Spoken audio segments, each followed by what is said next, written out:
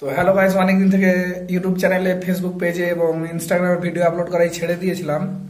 তো ভাবলাম যে আবার নতুন করে ভিডিও বানানো যাক কন্টেন্ট ক্রিয়েট করা যাক। তো প্রতিদিন এক মিনিটের করে একটা ভিডিও ফেসবুক পেজে ইনস্টাগ্রামে ইউটিউবে প্রতিদিন আপলোড করব।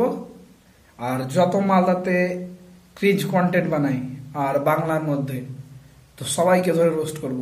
শুধু কমেন্ট করে জানিয়ে দেবা যে একে রোস্ট করতে হবে বাস ওকেই রোস্ট করব।